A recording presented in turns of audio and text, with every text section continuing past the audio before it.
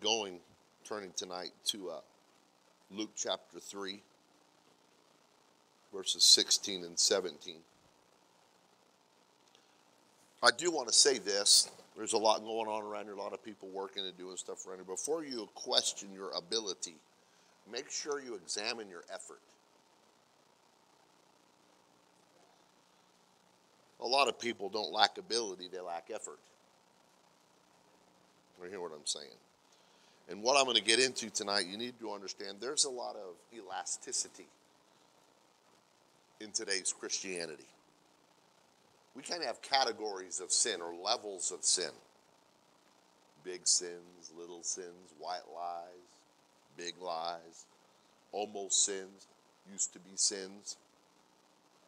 But really, you're going to find that God only has two categories sheep and goats, heaven or hell, wheat or chaff. Don't justify sin. Get it repented of. Get it taken care of. Amen. Luke chapter 3. I keep wanting to say John 3.16. Man, we, it's Luke chapter 3, verses 16 and 17. John answered, saying unto them all, I indeed baptize you with water, but one mightier than I cometh. The latchet of his shoes I am not worthy to unloose. He shall baptize you with the Holy Ghost and with fire. We like that. We like getting baptized in Jesus' name, getting full of the Holy Ghost and getting on fire for God. Can I get an amen? amen.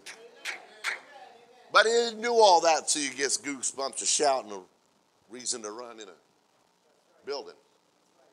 Verse 17 says, Whose fan is in his hand, and he will thoroughly purge his floor, his threshing floor, his house. Are you hearing me tonight? And will gather the wheat into his garner, but the chaff he will burn with fire unquenchable.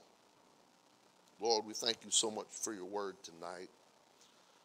Pray, God, that grace and mercy, Lord, will, will flow as we glean from your word to understand that you're not just a God of grace, but you're also a God of judgment. And your word is forever settled. We cannot change it, alter it, or twist its meaning in any way. Help us tonight as we go into your word. In Jesus' name, everybody said amen. amen. Um, you can be seated. It's, it's, as I thought about this, and I really don't prepare opening remarks. And I, I really shoot from the hip. I got some verses written down, a few things I want to say, but I, I, I shoot from the hip. But when you take verse 17 and you lay it over the translators, the word fan is lit- literally means a winnowing fork. Now, you and I aren't farmers. We're not out there winnowing the wheat. We go to Costco or Fry's or Walmart and buy our wheat bagged up already turned into bread. In fact, very few people are even buying flour anymore today. Maybe a couple of the elder saints that still know how to bake. or, you know, whatever it is that you do. Whose fan or winnowing fork is in his hand, and he will thoroughly purge. That means to cleanse perfectly his floor and will gather the wheat into his garner, but the chaff he will burn with fire unquenchable. That word unquenchable is interesting because when it's translated, it's the, where we get the word asbestos from. Pretty interesting. It's not extinguished or unex- unquenchable, is what it means. So it's, it's pretty interesting. The word ptuon is the word fan, which is the winnowing fork. In the Bible, It's uh, used to uh, lift up the wheat into the air to allow the wind to separate the lighter chaff to blow away and the grain, the edible part, to fall to the floor. The threshing or is the pounding of it, the beating of it. He puts the wheat through a process. You have to understand that, that life is putting you through a process. And I'm going to talk about it. Sin is a process, life is a process. You didn't go sin, it was birthed in your mind and your heart first. No one backslides overnight. There was something going on in your heart and something going on in your mind. And so, understanding the threshing and the winnowing to understand what God's talking about with this parabolic sayings, let's turn to Matthew 13 and 30 because th- this is the, uh, the plight of the pastor today, the plight of the church. Um, we want to deal with things. We want to help people grow instead of go. They do, they do plenty of going on their own. It says in, in Matthew 13 and 30 in your Bible, let bro, both grow together until the harvest. To the end. And in the time of harvest, I will say to the reapers, Gather ye together first the tares. There's going to be a separating going on. We're going to know who the Lord's are and who aren't. You'll bind them in bundles and burn them, but gather the wheat into my barn. John foretold and said, Jesus is a baptizer, but he's also the thresher. He is the Savior and the separator. A lot of people want a Savior, they don't want a Lord. He is both the God of mercy and a God of judgment.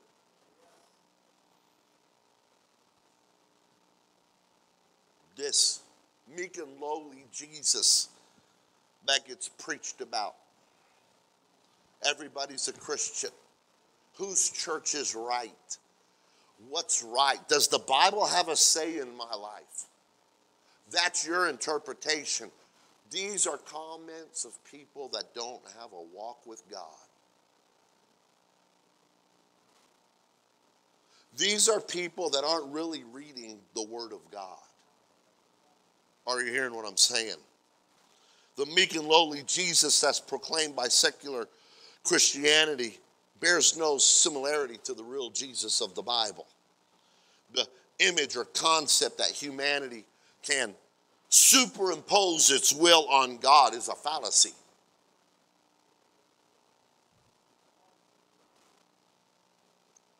That we say what's right and wrong and what's good and evil, what's righteous and unrighteous, is a lie. Luke 4 and 4, Jesus being tempted, makes a statement to the archenemy of the world, Satan, answered him, saying, It is written that man shall not live by bread alone. We're going to eat. But to truly live, you need every word of God. I want you to realize that it was the Prince of Peace who said, Think not I am come to send peace on earth. I came not to send peace, but a sword. The same one they depict that they can walk around and tell them, This is what I'm going to do for you, Jesus. I know you asked for this, or they said that, but I don't like that church or those rules imposing on my life. Are you hearing me? Listen, it is God's word which divides the righteous from the unrighteous. The Bible tells us in Hebrews 4:12, for the word of God is quick and powerful and sharper than any two edged sword, piercing even to the dividing asunder of soul and spirit and the joints and the marrow, and is the discerner of the thoughts and the intents of the heart. You won't twist God's word to fit you. You need to change to fit his word. Romans 12, verses 1 and 2 say, I beseech you, therefore, brethren, by the mercies of God. Listen, here's the mercy that you present your bodies, your life, your physical being, a living sacrifice. And he begins with the word, word holy. That means separated unto. It says it, acceptable unto God. Well, while you're trying to fit in the world, you're not going to be acceptable unto God. Are you hearing what he's saying? Which is your reasonable service. Because he goes on, and be not conformed. That means there's going to be a difference. Listen to me, folks, between how you live for God and how you don't. The world don't. So if you're looking like them and dressing like them and speaking like them and acting like them and watching what they watch and reading what they read and speaking like them and listening to that, you're conforming to that. And you're missing that you're to be transformed by the, the renewing. I preached the other day about the, about the prodigal son. Do you realize what he did in the pig pen?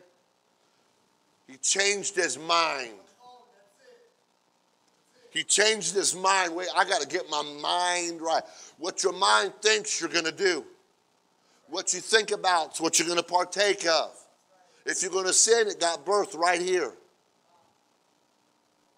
You started negotiating in your mind. Sin is not an act, it's a process. I'll get into that. That you may prove what is that good and acceptable and perfect will of God. Be transformed, be renewed like he said, like he told the lady caught in adultery, go and sin no more. He didn't say, I got you, go ahead and keep on like he was doing. Romans, Paul speaking, tells us, let not sin therefore reign, rule in your mortal body. What I do in my body matters. How I dress, what I wear, speaks of what I serve. Mm. that ye should obey you obey in the lust thereof. Neither yield you your members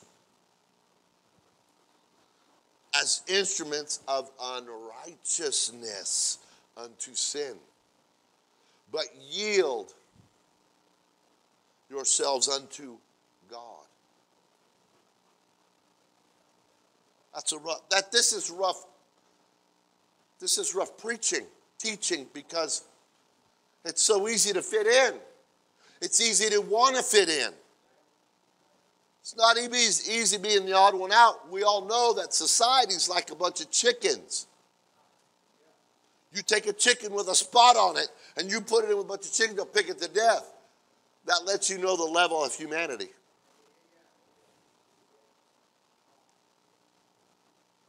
Look how hard you have to fit into this world and you'll turn around and get mad at the church for showing you, you know what, you don't have to fit in with that. We got something better. But yield yourselves unto God as those that are alive from the dead, and your members as instruments of righteousness unto God. I'm talking about spiritual maturity. Spiritual maturity to say, oh, do I have to? That's a child. Do I really got to do? Maturity says, man, that's my job. That's my involvement. This, this is what's expected of me. Mm-hmm. You'll find the, it's the adults that are, are paying the bills and doing the work, and you turn around a child is, say, Do I got to? And this, this, this lets you know where you're at with God. Man, they got a lot of rules at that church. Really? Go try living and getting along with them out there. They'll eat their own right now. Go look at the cover of National Enquirer. That person that was there was a darling at one point. telling you. That we henceforth, Ephesians, be no more children tossed to and fro and carried about with every wind of doctrine. That is a teaching, that is an ideology. By the sleight of men and cunning craftiness whereby they lie in wait to deceive. But speaking the truth in love may grow up. See, grow up's in the Bible. Turn to your neighbor and say, grow up. Grow up unto him in all things, which is the head, even Christ. Throughout Jesus' teaching and earthly ministry, he emphasized that. Here, are you ready? There's going to be two camps in his church. There's going to be two kinds of people in the body of Christ. Two kinds of people claiming to be his church and his kingdom. This is important to understand. However, only one group would really be his people. Statistically, is usually the smaller of the two. Luke chapter 13, verse 23, it begins, it says, Then said one to him, Lord, are there few that be saved? And he said unto him, Strive, strive. Everybody say, strive. To enter in at the straight gate. For many, I say unto you, will seek to enter in and shall not be able.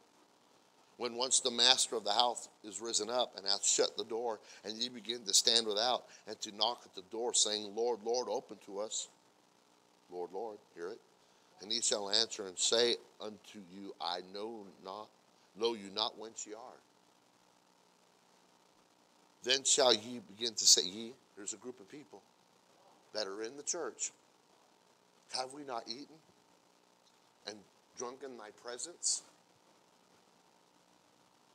And thou hast taught, I like this, in our streets. And thou hast taught in our streets. But he shall say, I tell you, I know you not whence ye are. Depart from me, all ye workers of iniquity. Iniquity is lawlessness. We felt your presence. We've been in your presence. Your word was taught in our neighborhood. It's interesting that they felt his presence. But the Bible talks about being filled with his spirit. There's a lot of people, man, I feel the presence of God. That's great, but have you been filled? Have you got the Holy Ghost? Have you received the Holy Ghost since you believe? It's, it's wonderful to feel the presence of God on the outside, but in order to be led into all truth, you've got to get the Holy Ghost, as the scripture says, on the inside. Are you hearing what I'm saying? The word was taught. You taught in our streets. I think that's pretty profound because it literally means it was out in the street, but you never took it heart and you never took it home. It didn't become a part of your life. It was something down there at the church house, but it didn't affect your house. It didn't affect you. Man, I'm not trying to hurt nobody. I'm not trying to bother nobody. But I'll be honest with you. I'm glad someone laid this on the line for me because I needed saved from the mess I was in. Not only to be saved physically, but to be saved spiritually. It saved my life physically. I was killing myself with worldly living. I was killing myself with drugs and, and, and the type of people I was hanging around and the type of things I was doing. It was literally only a matter of time. I ran into people later. I can't even believe you're alive, they would say to me. It's sad when the worldly people know you're living a life that's deadly. What's really sad is when church people aren't willing to tell a worldly person that used to be church, what are you doing to yourself? Because Jesus said, I never knew you. Coming to church and not changing, something's wrong. I can't hang around you without you affecting me you know, when, when Sister Pearl come around, she talks about keto. I think of keto every day. Every time I look at food, every time I think, well, I wonder if Sister Pearl be okay with us eating that. And, when I look at cake, I think of my mother and Sister Davenport. You know? When I look at shoes, I think of Brother Lawrence because we've kidded around about that. If I see a muscle car or a muscle anything, I'm thinking of Brother Dad. There's the effect uh, of being around. So let me tell you, you can't get in a true church without there becoming. You know what? I need to change some things about me. I want to adopt some of the things of the personality of Jesus Christ and His church. We got a lot of superficial Christians. Don't just come walking in here and feel the external presence of the Lord. You need to get him on the inside. Now, I'm not talking about people that are, are, have followed the new birth, got the Holy Ghost, and are struggling with some issues. Because I want to say that, you know, I've been living for God for a while, and I'm still working. But if you came in today and you repented and got baptized in Jesus' name, full of the Holy Ghost, you're as saved as I am at that moment. But if I go out and I do something stupid that I know better, you're better off than I am, even though I've been around this thing for 30 something years. Are you here? What? Uh, can you hear me? Can, can you hear me, church? So, this is referencing folks that refuse to let his word be truth. When you refuse to seek the infilling of the Holy Ghost, that's clearly seen in Scripture in the book of Acts and taught by his disciples and clearly seen in the Word of God. You got Acts 2 38, 41, and 42. You got Acts 10 and Acts 19. People were actually rebaptized in the Word of God. I don't know what the argument is. There is no argument. There, there's no division. There's no discord. Let God be true and every man a liar. If I say something contrary to the Word, I'm wrong, the Word is right. They obeyed the disciples' teaching and preaching, and they were added unto the church daily. The Bible says that. So, whilst I'm teaching all this, remember, Jesus has a fan in his hand, thoroughly purging his floor. Jesus goes on and he gives us other examples how he plans to divide those who are the bride and those who are not, those that are the church and those that are not those that are around the church and those that are in the church. Are you hearing what I'm saying? Notice again the separation happens. This is scary, folks. At the end, they gathered the tares and the wheat at the end. Okay, are you hearing me? The two groups are around each other, intertwined with each other, amongst each other. In fact, not much really seems different on the surface. Matthew 25 tells us the story of the ten virgins. Everything was similar, but one issue. And that one issue separated between wise and foolish. One. It wasn't ironic that the oil was the difference.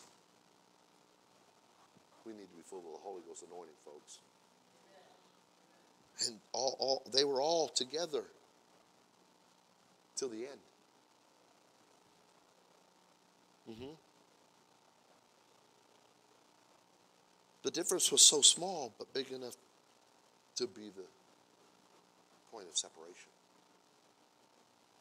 In Matthew 7 on the Sermon on the Mount, he tells of multiple ways here. He talks about two ways the broad way and the narrow way talks about two trees, the good and the corrupt. So, uh, even so, every good tree bringeth forth good fruit. You know, Brother Clark used to tell us, I mean, Brother Carlton Clark, about being a fruit inspector. You ever get around that person that you can't tell them anything to, to correct? Say, man, there should be fruit I should pick from there, but you're not producing it. You're not producing fruit. It's missing. So every good tree bringeth forth good fruit, but a corrupt tree bringeth forth evil fruit. Fruit. This one's caustic and one's Christian. A good tree cannot bring forth evil fruit, neither can a corrupt tree bring forth good fruit. Every tree that bringeth forth not good fruit is hewn down and cast into the fire. Wherefore, by their fruits ye shall know them. So we know he talks about two ways, two trees, and then two houses. The house identical, but with close inspection, they're built on two different things. Listen, this is important to know. Jesus is not contrasting the church and the world here. He's talking about two kinds of believers.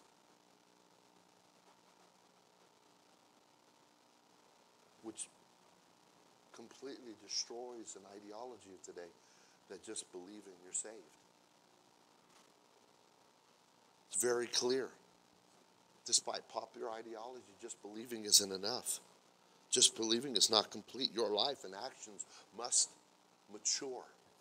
You must grow up. When you get married and you're young, you grow together. You grow up together. Mm-hmm. When you were born and you got put in diapers, there was a time there we, oh, we, you're not going to do nothing. We're just going to pamper you for a while, take care of you for a while. But at a certain point, man, you ought to be old enough to take out the trash around here. You ought to be able to do the dishes now without being told. There ought to be something about you that says, Do I got to? Oh, I'm mature now. What can I do? I want to be fruitful. I want to be a Christian. I want to be the real thing. Your speech and conduct must be transformed. I used to cuss. Bad. I thought it was what you were supposed to do.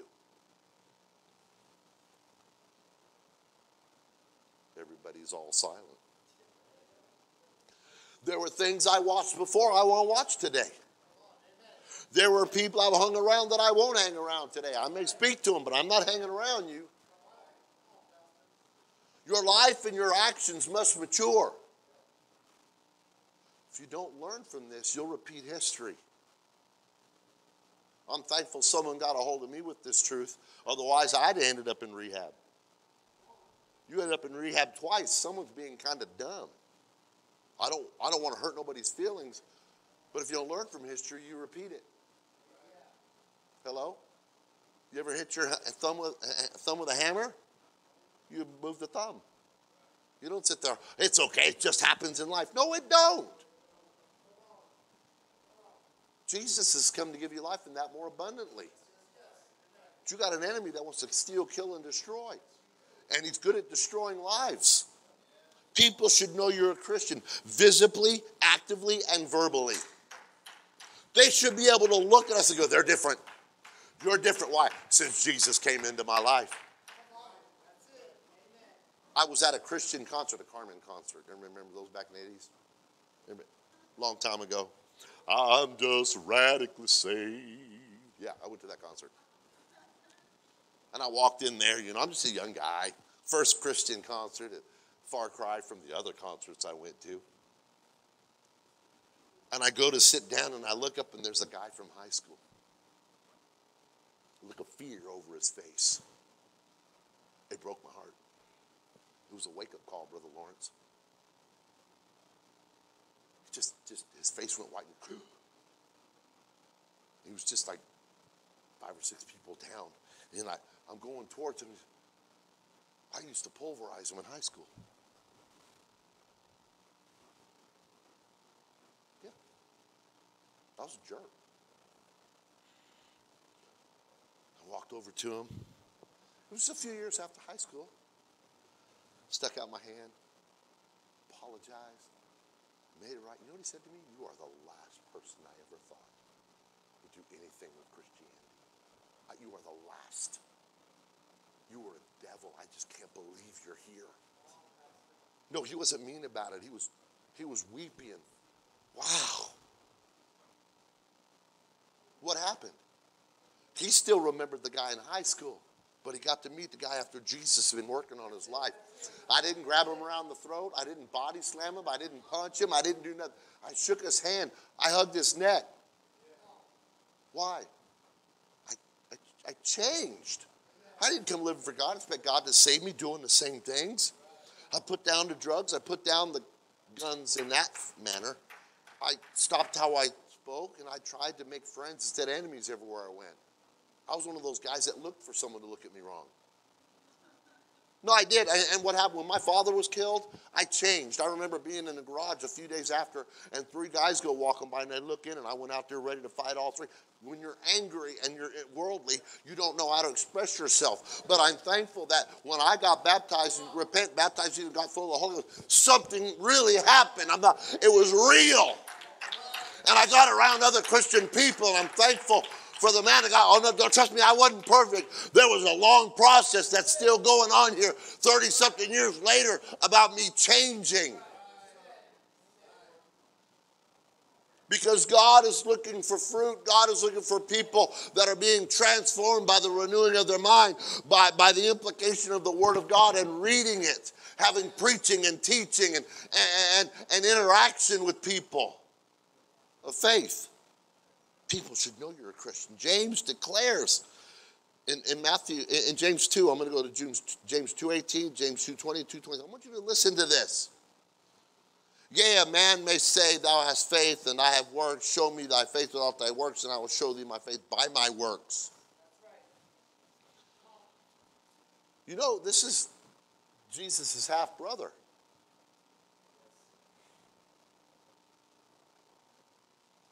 He that wasn't a believer until after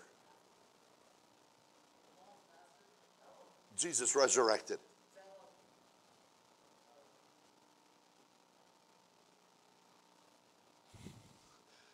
He, was never that's my brother. Resurrect. Oh. He wasn't playing. But wilt thou know, O vain man, that faith without works is dead? You got to get real with this thing. You got to get it on the inside. Verse 26 For as the body without the spirit is dead, so faith without works is dead also. I'm fixing to change some of my ways.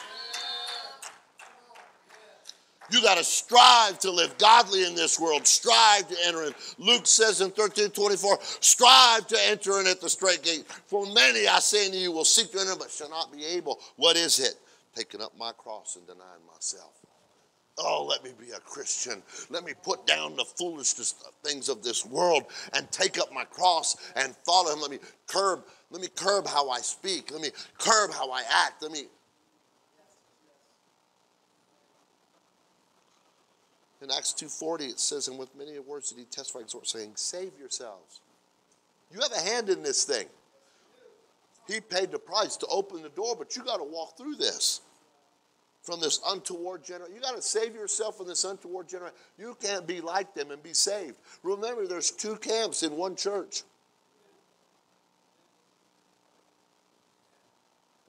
And they that gladly received his word. I can't believe the amount of people I work with on a daily, weekly, yearly basis that in a, in a, in a flash, they turn around and criticize and complain. I'm like, man, I wish they lived up to their own standards. They that gladly received his word were baptized. And the same day were added unto them 3,000 souls, and they continued steadfastly in the apostles' doctrine and fellowship and breaking bread and in prayer. There's got to be, your life needs to change when you come in contact with Jesus. And I know I need to hurry, but if I ran in here tonight and said, you know, I got hit by a truck on the way to church, none is going to believe me. if I came into the church tonight and I said I got hit by a truck, really? But if I came walking in here with crutches and bandit, I get hit by a truck. Y'all gonna believe me. Sadly, people meet us and we say we're a Christian. They look at us. I can't tell. I can't tell.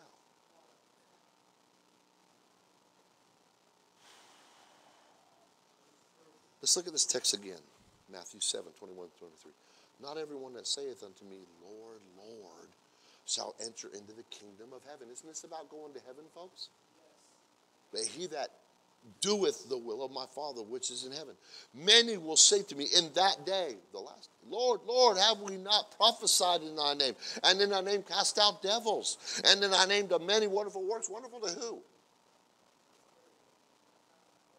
Is what you're doing wonderful to you or wonderful to God? Mm. What is your work? What are you working on? What are you doing? Then will I profess them, I never knew you. Listen to what he says. Depart from me that work. It's not that you're not doing anything, you're doing the wrong things. Heaven's on the line here. Jesus said at the age of 12, I must be about my Father's business. What are you involved in? Many will say, Look what I was saying, Jesus. Even, look what I was doing, Jesus. Look what I believed. I believed in you, Jesus.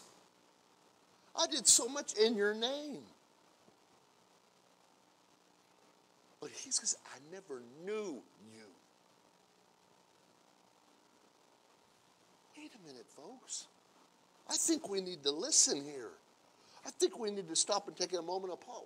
I love worship and I love shouting and running. The message I preach Sunday, I love that kind of preaching and teaching. But what good is jumping and shouting at the majesty of God if we lose out because we're really not?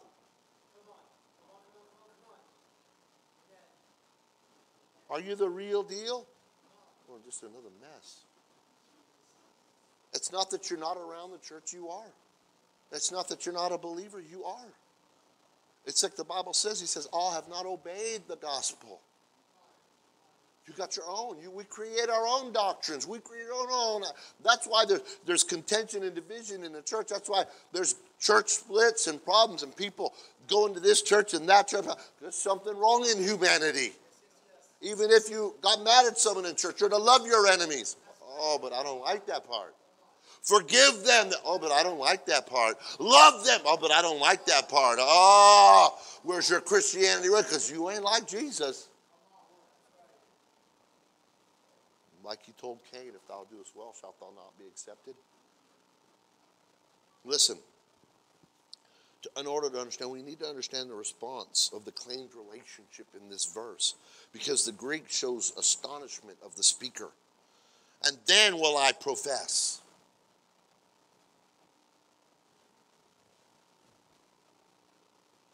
He's not going to tell you now.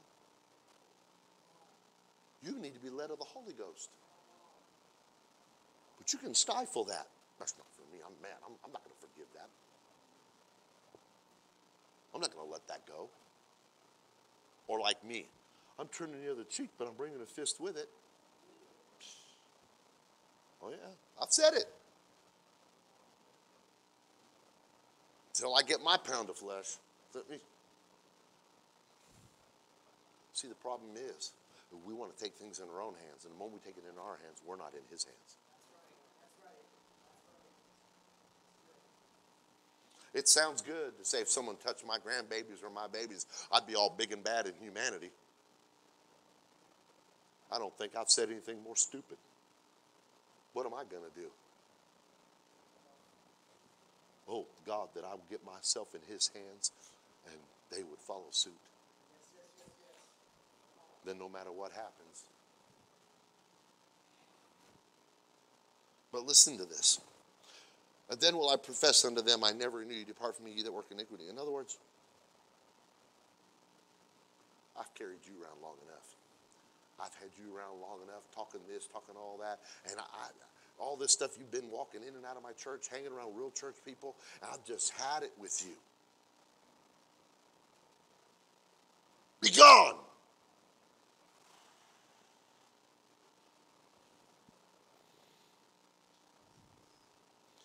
You contrast that with this scripture in, in 1 Corinthians 12 and 3. Wherefore I give, a, give to you to understand that no man speaking by the Spirit of God calleth Jesus accursed. And that no man can say that Jesus is Lord but by the Holy Ghost. The division, the separation which takes place at the judgment will be absolutely shocking. Wait a minute. Look at my resume, Jesus. You can't tell me I can't come in here. I built this place.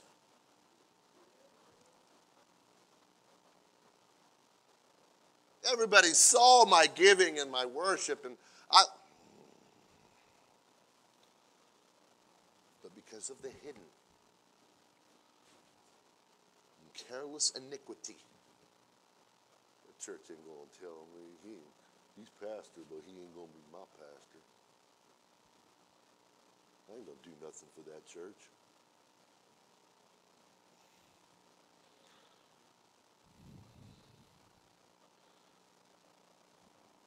And at the end, when it's too late,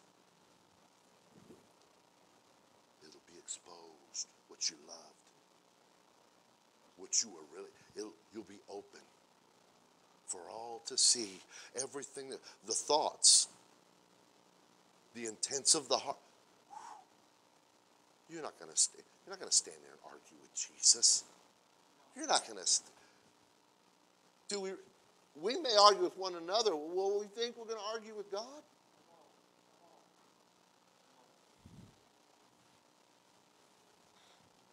I have Steve's law. sadly, I have two wonderful people that are subjected to Steve law.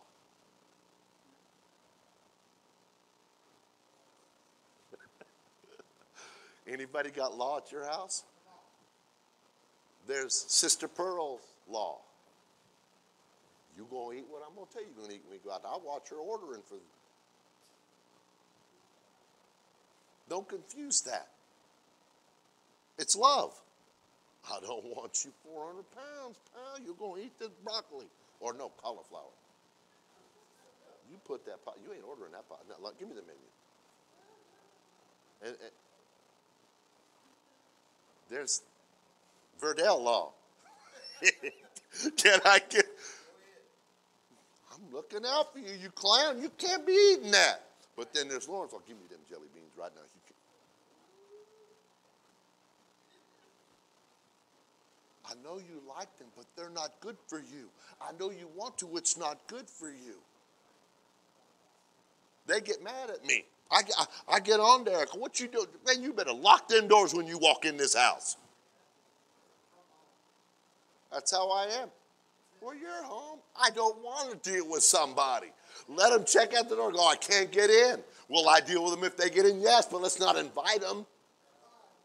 I really don't want the altercation. Let's use some sense and avoid problems. Jesus gave us his word. Let's avoid some of that. I don't want to hear, depart from me. I never knew you. Let me get close to Jesus. Let me get his word in my heart that I might not sin against him.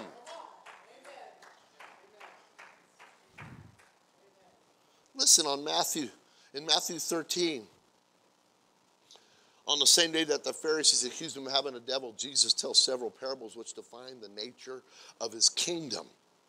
More than half of them deal with the presence of evildoers who try to hide themselves in the kingdom. There's going to be people that aren't of the kingdom hidden in the kingdom. And sometimes you're married to them. Sometimes you birthed them. the Bible talks about Enemies will be those of your own household. And it will cause a variance in a home between the believers and the non believers, between those bearing fruit and not bearing fruit. There comes a conflict. Mm-hmm. So Jesus tells several parables which define the nature of the kingdom of God, and more than half of them deal with this, the presence of evildoers. Come on, we, we, we have some stuff like that in the church. Sowing discord. God hates discord, He hates division. You can't be right with God going to church disobeying His word. You may say you're a believer, you may go to church, but you ain't saved. You're lying to yourself. You can't disobey Scripture and go to church and say, I'm saved because I still go to church. No, believers aren't saved, doers are. The parable of the wheat and the tares shows us that sadly there are false Christians in the kingdom. He says, I never knew you. The most common kind of wheat or tare in the Holy Land is called a bearded darnel. It's actually a poisonous grass. It's almost indistinguishable from the wheat until it grows to maturity. Then you can tell. And it is uprooted just before the harvest to be bundled and burned the damage happened. Remember what he said? How then hath it tares? An evil one came in.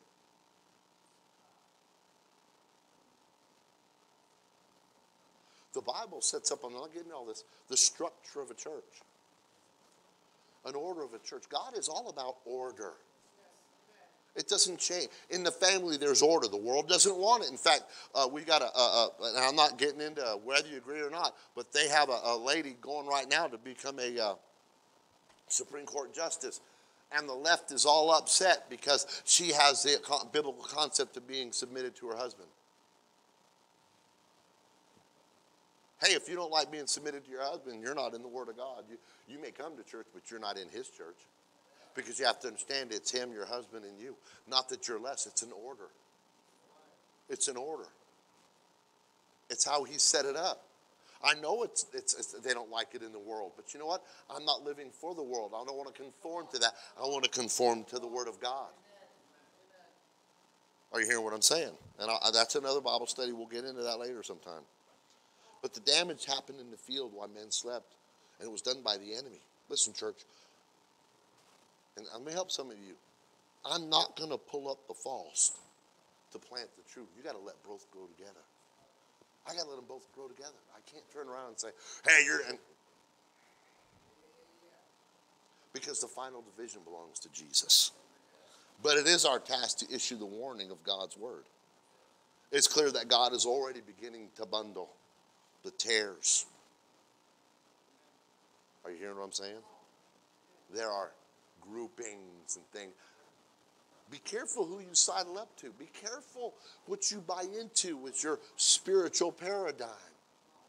Be careful if you're the kind of person that I can't, as pastor, come up and say, you know, let's talk about this. Sadly, if you're one of those people, I can't come up and say, let's talk about this. There's, a, there's an end time worldly church that thinks they're all right. They build great big buildings and everybody's saved and it's your best life. And basically, it's self help. But the Bible's not a self help book, it's not helping you be successful just so you can put a couple of bucks in your pocket. That's, that's not what it's about. Spiritual unity among true Christians is one thing, but religious uniformity among mere professing Christians is another. Yeah, we want unity, but you know what? We need to be unified in truth. Real unity doesn't assemble around the lowest common denominator. Oh, man, anybody with me? Well, I could do that over there. That's not about would you do it over there? So the parable of the mustard seed shows us there's a false growth in the kingdom. The parable of the mustard seed was taught in the rhetorical hyperbole here. Jesus uses a shrub or tree coming from a seed to represent kingdom growth, consistent with other trees, kingdom references, Ezekiel 17 23, Daniel 4 11 through 21. The seed's growth attracts the presence of evil. Because it depicts birds landing in the branches to dilute the church while taking advantage of its benefits. False teachers. Come on, God likes you just like you are. He wants to bless. It's not that He doesn't, but let's get the whole truth. Listen, if you're 40 years old and, and in diapers, someone didn't love you. Of course, unless you're on the other side. Because we all end up going, what am I saying? If you're 25 years old and you can't even make mac and cheese to feed yourself, there's some maturation that's missing. Are you hearing me? I, So the picture painted in the parable of the mustard seed by Jesus is of the humble beginnings of the church experiencing an explosive rate of growth. We got some great big giant churches in our country. They're called churches.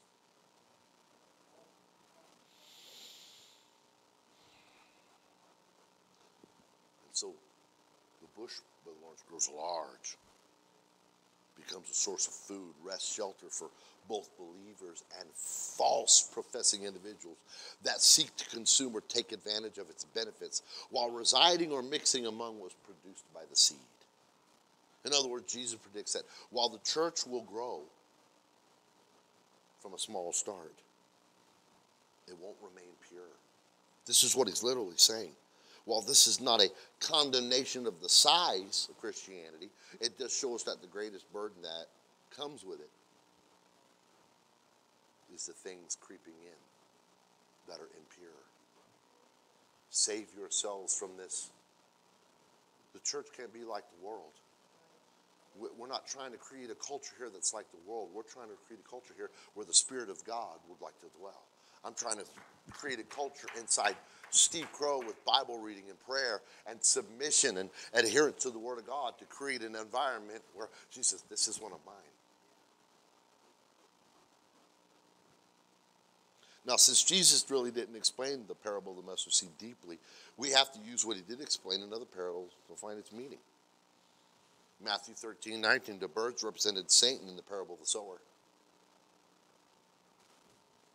The tree is symbolic of a world power in Daniel 4.12 and Ezekiel 17.23. The parable teaches an abnormal growth that makes it possible for Satan to sit in the branches.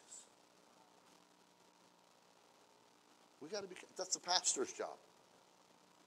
You want to know what's going on? You come to the pastor, nobody else. That's my job. The birds depicted as evil. And when he sowed, some seeds fell by the wayside, and the fowls came and devoured them up. Now, the parable 11 shows that there is false doctrine in the kingdom. Second Peter chapter 2, 1, verse 1 2. But there were false prophets also among the people, even as there shall be false teachers among you, who shall privately, who shall privately shall bring in damnable heresies, false beliefs, things that are not true, even denying the Lord that bought them and bring upon themselves swift destruction. And many shall, many, many, many, many, many shall follow their pernicious ways, by reason of whom of the truth shall be evil spoken of. I don't like that pastor. I don't like that church. I don't. I'm gonna go over here. You're gonna go over there. Let's go to a church that makes me feel good. You know what? I hate to break it to you, but sweets make me feel good all the time. Cake and pie and, and Come on, I, I, I never felt bad. But if that's all I ate, I'm doomed to destruction. We need the sincere milk of the word, and then at some point we need to go up and start eating meat.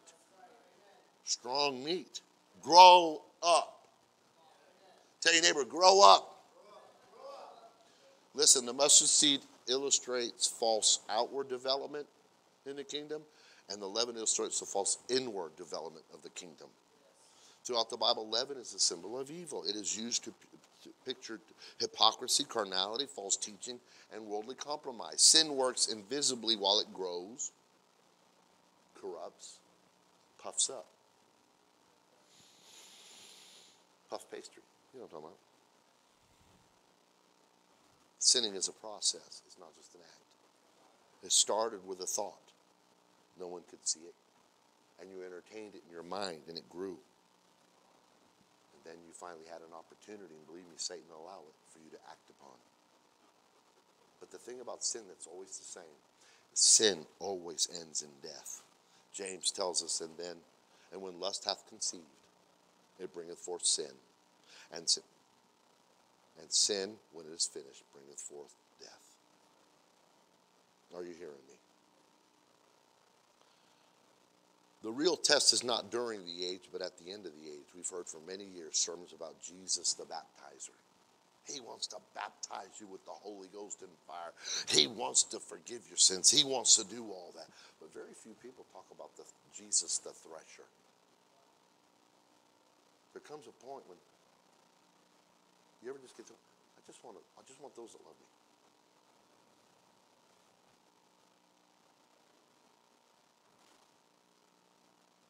I just want my people. So John introduced Christ's ministry by referring both to both images.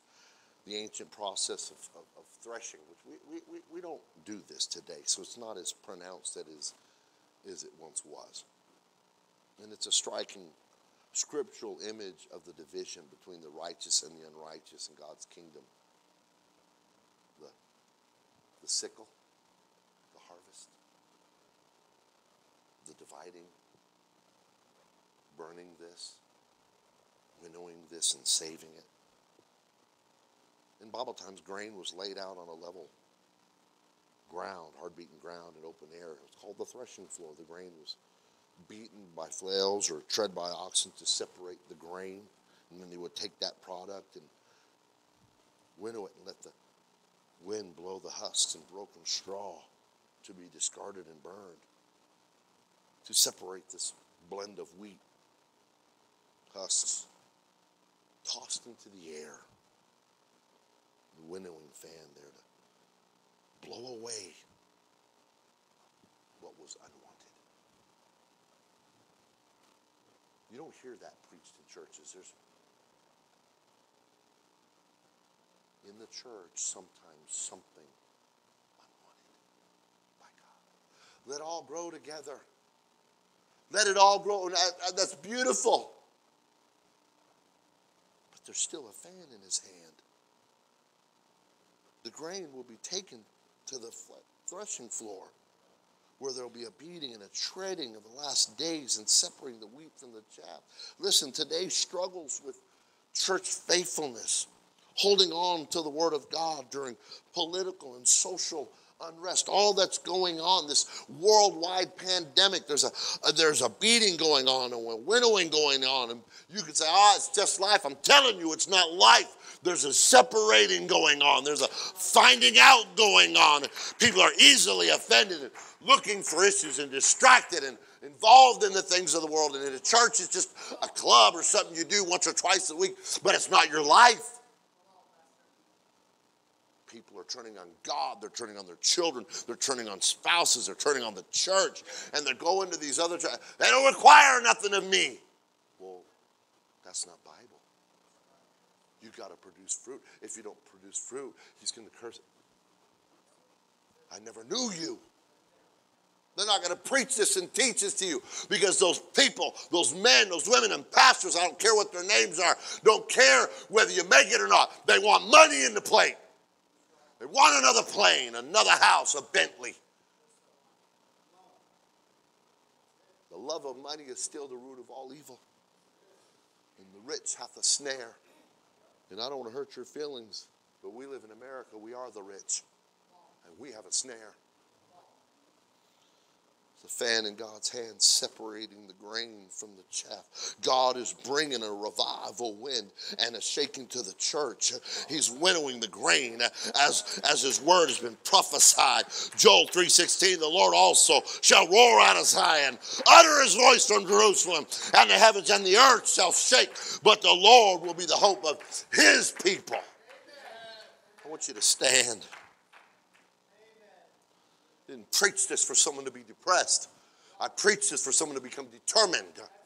As for me and my house, we will serve the Lord. We're going to cast away the childishness and the immaturity and grow up in the things of God. I must be about my Father's business. Haggai goes on in chapter 2, 6, and 7 For thus saith the Lord of hosts, yet once it is a little while, and I will shake the heavens and the earth and the sea and the dry land, and I will shake all nations. Hebrews declares in chapter 12, Yet once more I shake not the earth only, but also heaven, that those things which cannot be shaken may remain. If you can't handle this kind of preaching, the chaff will blow away. What does a loving parent do when a child is. Not you run in there and you shake that child. You gently shake that. Hey, hey, baby, time to get up. And if that child doesn't get up right away, you go in with a little bit more vehemence. Wake up! You're going to be late. You're going to miss the bus. I'm just trying to tell everybody it's time to wake up. It's time to quit playing at the doorway. It's time to quit fooling around in the house of God. It's time to realize that, you know, this is what God is doing right now. There's going to be a separation. Not all those that cry, Lord, Lord, are going to make it. Sadly, some people have no regard for the gentle hand of God. And they think that gentle hand is just another testimony. Oh, he don't really care. He's not to be listened to or obeyed. Ask God, shake us again. Shake me again, God. You got enough guts in your Christian hands to shake me, God. Don't let me sleep through this. Don't let me fall asleep at the spiritual wheel. Hallelujah. Time to wake up and redeem the time. God is beginning to winnow the grain. The chaff will be blown away. And he will gather his people I didn't preach this for an emotional reaction tonight. And in fact, the next few weeks I'm going to be teaching. I, I love the emotion as much as you do. I love the shouting and altar call and people weeping and crying. There's something amazing about it. But I want to get into your mind, get into your head, and get into your heart. You run with your legs, but this race is with your mind. I'll go get my head right. You find yourself being involved in things that are frivolous and foolish, shake yourself, wake yourself. Wait a minute. The clock is ticking. Time's running out. What are you going to be known for when he comes? Will you even be known? I don't want to hear, I never knew you. I want to hear those words, well done, thou good and faithful servant. But how can I hear those well done's if I'm not doing well? It's time, it's time to honestly to get real. And I'm not just talking about holy standards. I'm talking about holy living. Living unto the Lord. You hearing what I'm saying? The early Christians were not fed to lions, wild beasts, boiled in oil or set ablaze because they believed that Jesus was just some personal life coach.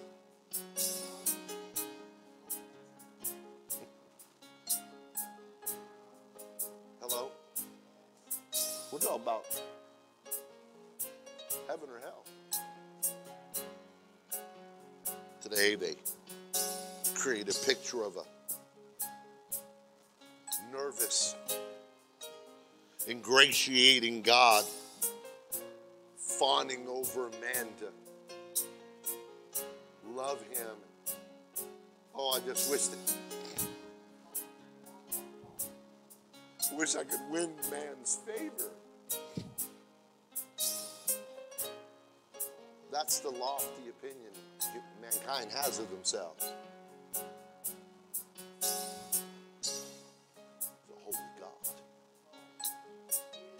Fan is in his hand. We're going to separate the minute we think we're something, we come walking into the house of God. You, oh, I'm somebody. Really? The truth is that God is sufficient in and of himself. He exists for himself and not for man. I'm thankful that even for a worm his eye, that he would open a door give me an opportunity. Oh, Jesus, I just don't want you as Lord and Savior. Be my master.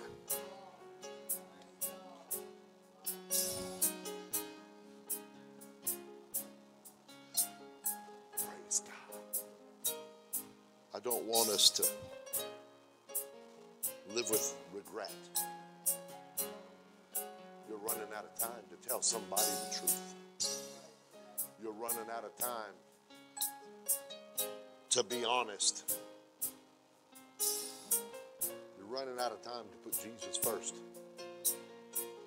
You're running out of time to make that a very clear declaration to where he'll say, Well done, thou good and faithful servant, rather than